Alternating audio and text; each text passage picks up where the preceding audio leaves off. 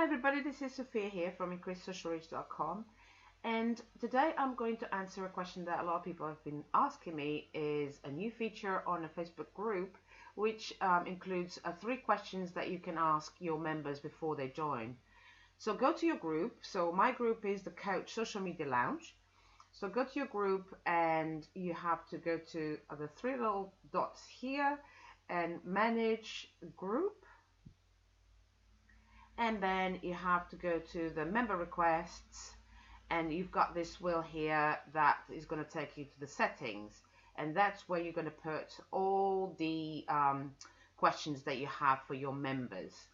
Uh, please be advised that this is a new feature so it might not be available right now so um, some people might not have it just yet.